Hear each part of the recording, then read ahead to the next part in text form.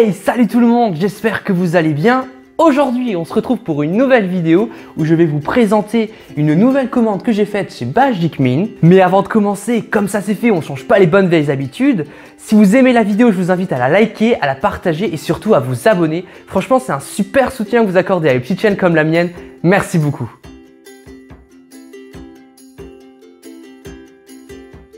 Et donc je vous propose de découvrir un nouveau produit. Alors peut-être que vous le connaissez déjà, mais moi pour ma part ça a été une véritable révélation, euh, qui s'appelle Magic Bean Made Be and for People. Désolé pour l'accent anglais.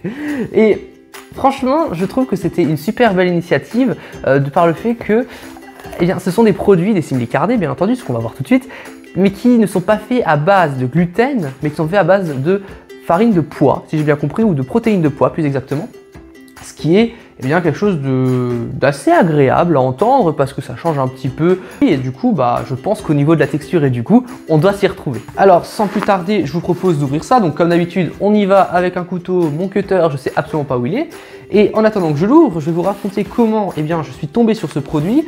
Bah, c'est tout bête, c'est via le lien d'une page Facebook qui faisait une pub justement à propos de ce produit et qui était assez intéressant parce que euh, à l'heure où j'ai commandé, eh bien, la livraison était offerte. Donc en soi, je trouvais que c'était assez cool. Et que franchement, pour le prix, vous allez voir, normalement, on s'y retrouve. Et voilà. Alors, bah, c'est une plutôt petite belle boîte. Hein. Dedans, on a des stickers. Oui, bon, pourquoi pas? Je vois pas trop à quoi ça peut servir si ce n'est faire des déchets en plus. Mais bon, on a des stickers. Je sais pas si vous le voyez bien, c'est un peu des stickers. En tout cas, sachez qu'il y en a.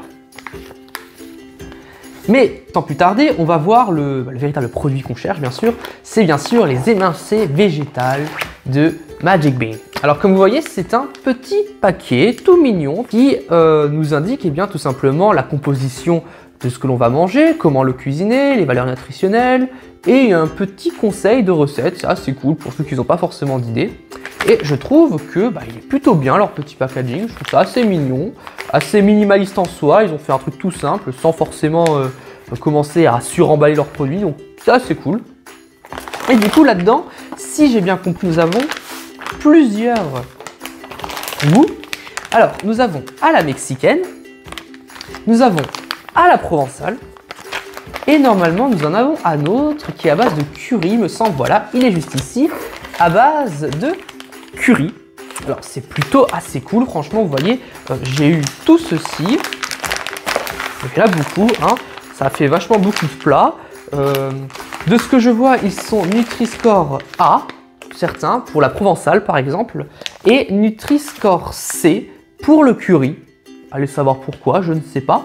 Et franchement, je, trouve ça plutôt cool hein, de savoir. Et après, ouais, le Mexicain aussi et un Nutri-Score A. Et dedans, qu'est-ce qu'on a d'autre? On a un petit flyer qui nous indique Merci pour ta commande, bienvenue dans la famille Magic Bean. Ah bah super Donc oui, donc c'est un, un petit récapitulatif de qu'est-ce que la société et il nous remercie pour leur commande. Parce que oui, actuellement, si j'ai bien compris, c'est un peu au stade de la start-up. C'est pas non plus quelque chose qu'on peut trouver partout. Donc euh, ouais, c'est cool de soutenir les petits producteurs. Alors, sans plus tarder, euh, je vous propose qu'on va cuisiner ça. On va goûter chaque recette pour voir eh bien, le goût que ça a. Parce que je dois vous avouer que je suis assez curieux pour voir si eh bien, ça se rapproche du simili euh, poulet, je pense, parce que vu émincé végétal, comment c'est prononcé, et vu la présentation de ce qu'on peut en faire avec, je pense que la volonté est d'imiter le poulet. On va voir si ça fonctionne. Alors c'est parti, je vous propose qu'on commence par l'émincé végétal à la provençale. Alors j'ai remarqué que pour chaque produit c'est exactement le même mode opératoire pour la cuisson. Donc ce que je vous propose c'est juste vous montrer comment ça réagit pour un produit, mais je pense que pour à la mexicaine et au curry, ça reviendra au même. Alors, on va tout de suite ouvrir.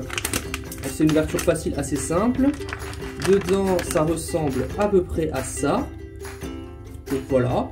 Et je vous propose qu'on en mette un petit peu. Donc il y avait marqué qu'il faut cuire environ 3 minutes avec un léger euh, filet d'huile. Moi je l'ai mis un petit peu et on va en mettre, allez un petit peu, hop là. Alors déjà, je sais pas si on entend au rendu vidéo, mais ça cuit assez bien. Hop, je vais encore en sortir un petit. Voilà. Donc avant, je ne l'ai pas précisé, mais j'ai reçu euh, deux produits de chaque version. Donc ça, c'est cool, franchement, pour le prix. Qui sont, les souvenirs sont bons, c'était environ 23 euros pour 6 euh, sachets. Donc ça va, c'est assez raisonnable, je trouve.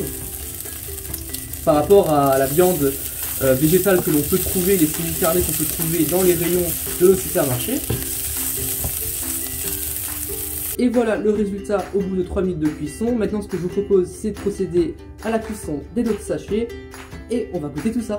Et voilà, on y est. J'ai fait les trois produits. Franchement, c'était super simple à faire. Vous avez qu'à mettre de l'huile d'olive, euh, le produit dessus, vous remuez de temps en temps pour éviter que ça colle et en 3 minutes c'est fait. Franchement, niveau timing, niveau simplicité d'utilisation, c'est un bon point.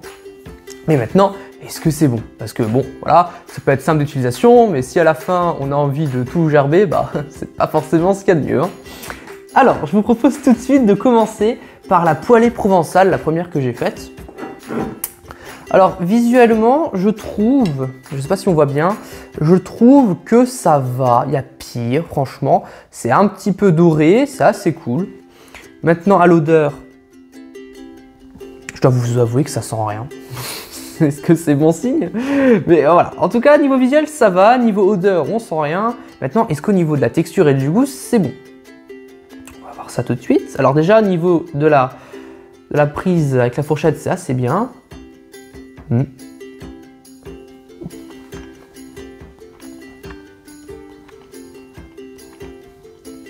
Hmm. Franchement,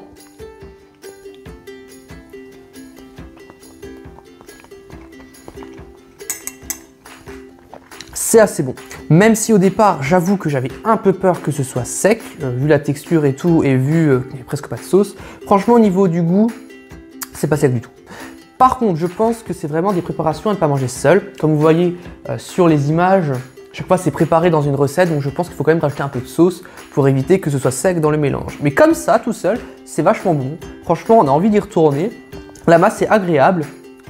ça imite bien le poulet, je trouve le blanc de poulet et tout. Donc c'est un très bon point. Mais est-ce que les autres se valent aussi? Telle est la question. On va donc passer dorénavant par le curry. Euh, franchement, je trouve, euh, vous allez voir au fur et à mesure, que niveau visuel, euh, ça se ressemble. Hein. franchement, visuellement, je ne pourrais même pas vous dire si je les avais mélangés, qui est qui. Hein. je pense qu'au goût, on y verra une différence, mais sinon, au niveau de la texture, au niveau du visuel, je pense que c'est la même chose. Ils ont juste changé les saveurs. Alors, on va tout de suite goûter celui-là au curry. Ah, celui-là, on sent quelque chose. Contrairement à l'autre, là, on sent que c'est au curry. Donc, odeur, c'est un, bon, un bon point.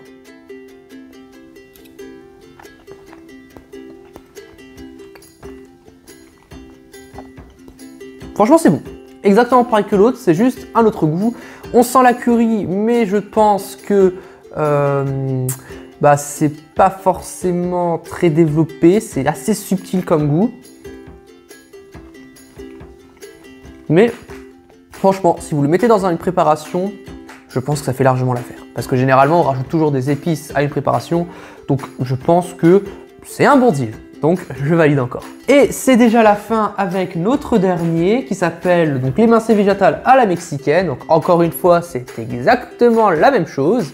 On voit juste que bah c'est euh, que voilà quoi. J'ai l'impression quand même que c'est un peu plus, les morceaux sont un peu plus linéaires. Je sais pas si on peut dire ça comme ça. Je sais pas si depuis avant vous voyez quand je vous montre. Franchement, je pense que je vais un peu me taper lors du montage quand je vais voir qu'en fait on voit rien du tout. Mais bon, on va espérer que c'est bon. Et si jamais euh, c'est le cas, je mettrai une petite note rassure-toi, te dis c'est le cas. Alors tout de suite, on va goûter à la mexicaine. Pas de goût spécial comme sur la provençale. Maintenant, un peu, un peu déçu au niveau de l'odeur. Mais maintenant, on va voir au niveau du goût.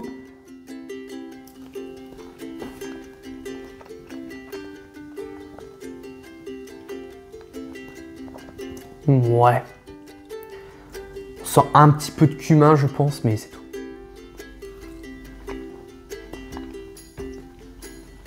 Hmm. Ça reste bon je trouve qu'au niveau du goût, ça va pas assez loin. Le, curry était assez pas, c'est bien, mais je trouve qu'au niveau provençal et niveau mexicain, c'est pas ça. C'est vraiment fait, je pense, pour convenir au plus large public. Mais si vous voulez quelque chose de de plus corsé, quelque chose de plus travaillé, niveau du goût, faut pas le faire. Mais après, niveau texture, c'est encore une fois comme les autres et je trouve que ça fait largement son travail. Et voilà, cette dégustation est terminée.